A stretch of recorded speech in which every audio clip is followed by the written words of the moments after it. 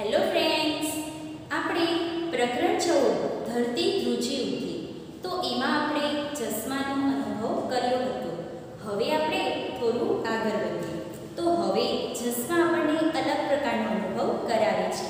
તો ત્યાર પછીનો તેનો ટોપિક છે, મદદ આવી. તો ચાલો, હવે આ મદદ કઈ આવી તે આપણે જોઈએ.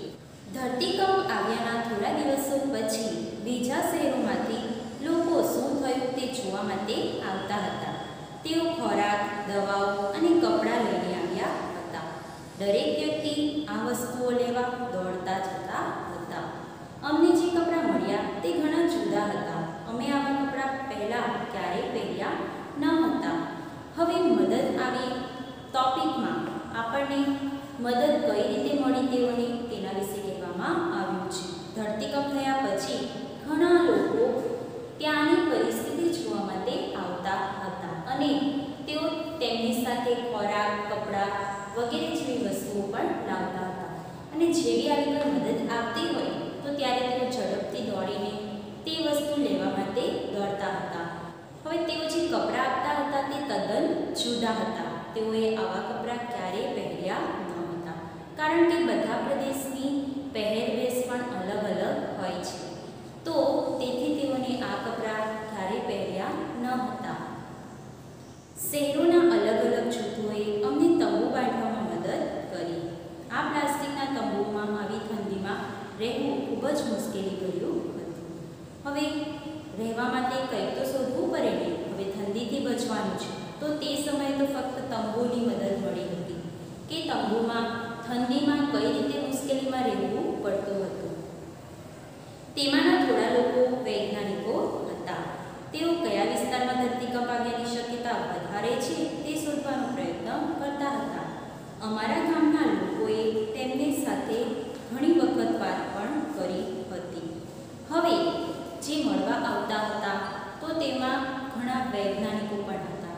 હવે તે વૈજ્ઞાનિકોને પણ એવી જ તેવું હોય કે અહીંયા ધરતીકંપ આવ્યો છે. તો હવે કઈ જગ્યાએ ધરતીકંપ આવશે તો એની શક્યતા પણ તેઓ જણાવતા હતા.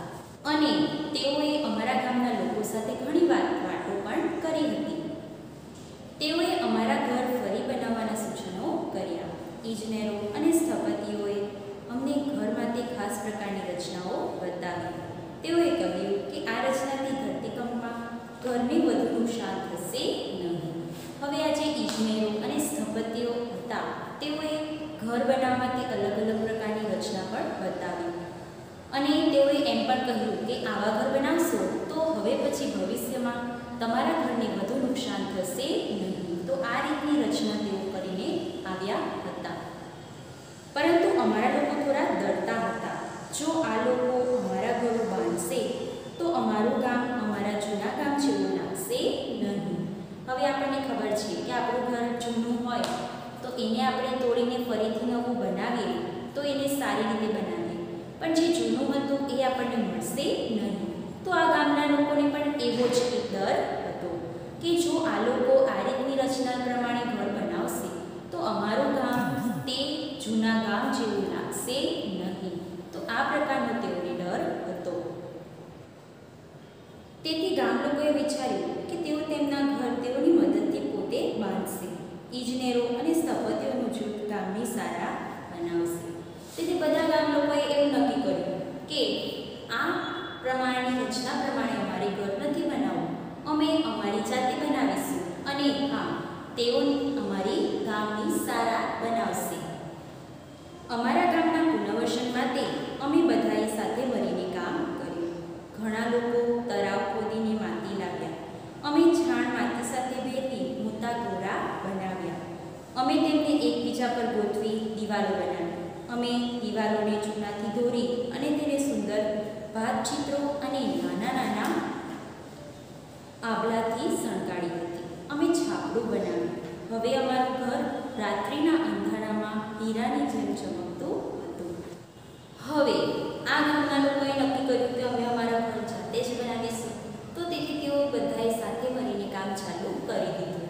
ઘણા લોકોએ તળાવ ખોદીને તેમાંથી માટી ભેગી કરી, ઘણા લોકોએ છાણ અને માટીને ભેગી કરીને ગોરા બનાવ્યા અને એ ગોરાને એકની ઉપર એક આ દિવાલને ચૂનાથી ધોળી કરી નાખી અને તેમાં અલગ અલગ પ્રકારના ભાત ચિત્રો પણ બનાવ્યા. તો આ રીતે તેઓએ એકબીજાની મદદથી આ રીતે ઘર તૈયાર કરવાનું નક્કી કર્યું. અને હા, આ દિવાલ ઉપર આભલા પણ ચોંટાડ્યા કે જેથી રાત્રિના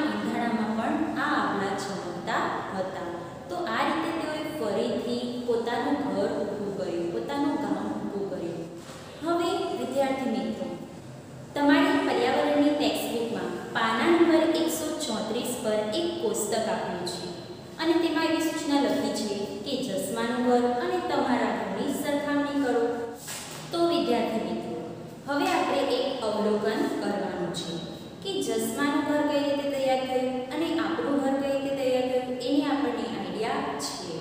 તો ચાલો આપણે તેનું અવલોકન કરીએ. હવે જસમાનું ઘર છે. હવે જસમાના ઘર બનાવવા માટે કઈ કઈ વસ્તુઓનો ઉપયોગ થયો હતો? આપણે આગળ જોયું. કઈ કઈ વસ્તુ હતી?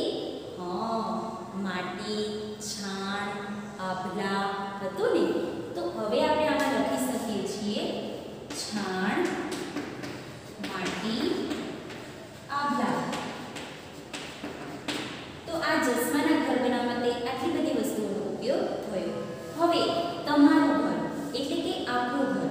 હવે મોટે ભાગે આપણા ઘરના બાંધકામમાં સિમેન્ટ, ઈંટ, કાચ, આવી બધી વસ્તુઓનો ઉપયોગ થાય છે. તો આમાં આપણે લખી શકીએ છીએ સિમેન્ટ, ઈંટ, કાચ સ્ટીલ લોખંડ. હજી આનાથી વિશેષ પણ આવી શકે છે. તો તમારે પણ આવો વિચાર કરવાનો છે કે જસ્માના ઘરના બાંધકામમાં આ બધી વસ્તુઓનો ઉપયોગ થયો અને આપણા ઘરના બાંધકામમાં કઈ કઈ વસ્તુઓનો ઉપયોગ થયો તો એ રીતે તમારે આ અવલોકન કરવાનું છે ત્યાર પછી આપણો આગળનો ટોપિક છે તમે શું કરશો તો ચાલો આમાં શું કહે છે તે આપણે જોઈએ જૂથમાંથી લોકોએ જસમાની શાળાના બાળકોને ધરતીકંપ આવે ત્યારે તેઓએ શું કરવું તે પણ સમજાવ્યું. તેઓએ કહ્યું, હવે આ એક મુશ્કેલી હતી, પણ આ મુશ્કેલી એવું જરૂરી નથી કે એકવાર આવી ગયો એટલે ફરીથી નહીં આવે. ફરીથી આવવાની પણ શક્યતા છે. તો જો એ ફરીથી આવશે, તો આપણે કઈ બાબત માટે તૈયાર રહેવું પડે? તો તે જૂથના લોકોએ નાના બાળકો જે શાળામાં જતા હતા, તેઓને સમજાવ્યું, ચાલો, આપણે પણ તે જો શક્ય હોય તો ઘરમાંથી બહાર નીકળી ખુલ્લા મેદાનમાં જતું રહેવું. તો જ્યારે પણ આપણને એવું લાગે કે ધરતીકંપ આવે છે, તો આપણે ઘરમાંથી બહાર નીકળી જવાનું અને ખુલ્લું મેદાન હોય ત્યાં જઈને ઊભા રહી જવાનું. તો તમે અહીં ચિત્ર જોઈ રહ્યા છો. તો જુઓ, આ ચિત્રમાં બાળક કઈ રીતે બેઠો છે? હા, બે ટેબલને બરાબર મજબૂતાઈથી પકડીને ટેબલની નીચે બેઠો છે.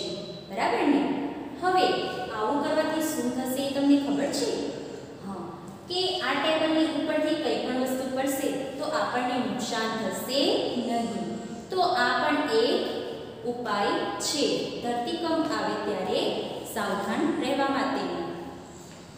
જો ધરતીકંપ આવે તો શું કરવું તેના વિશે તમને શાળામાં કે બીજી કોઈ જગ્યાએ કહેવામાં આવ્યું છે હા કે જ્યારે ધરતીકંપ આવે તો શું કરવું જોઈએ શું આવું તમને ક્યાંક કોઈ કહ્યું છે તમે કશે ફરવા ગયા હોય તો ત્યાં તમને કંઈક કહેવામાં આવ્યું હોય તો આવું તમારી સાથે થયું છે તો એનો વિચાર કરજો ધરતીકંપ વખતે શા માટે ટેબલ નીચે જવું જોઈએ?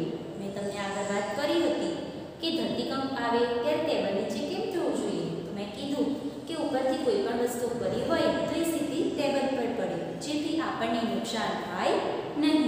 તો આ રીતે ધરતીકંપ આવે તો આ પ્રમાણેના પગલાં લેવા જોઈએ. આનાથી વિશેષ બીજા પણ ઘણા પગલાં છે. જેમ કે, ઊંચી બિલ્ડિંગમાં રહેતા હોય તો લિફ્ટનો ઉપયોગ ન કરવો જોઈએ. તો આવા ઘણા બધા ઉપાયો છે. જો તમને કોઈ યાદ આવે તો તમે પણ તેની નોંધ રાખજો. તો વિદ્યાર્થી મિત્રો, જ્યારે ધરતીકંપ આવે, તો શું મદદ મળી છે? અને ધરતીકંપ આવે ત્યારે આપણે શું કરવું જોઈએ? એના વિશે આપણે પરિચય લીધું. તો હવે પછી આપણે ફરી મળીશું બીજા